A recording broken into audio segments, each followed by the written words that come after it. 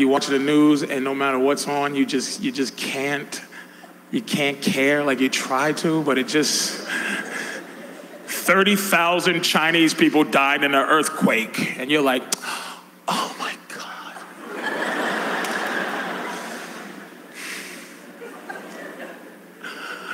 I, oh, wow.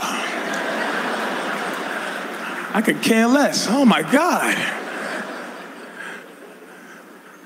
A missing mother of 10 hasn't been seen in two weeks. You're like, all right, I'm gonna care about this. I know it. I know. I know.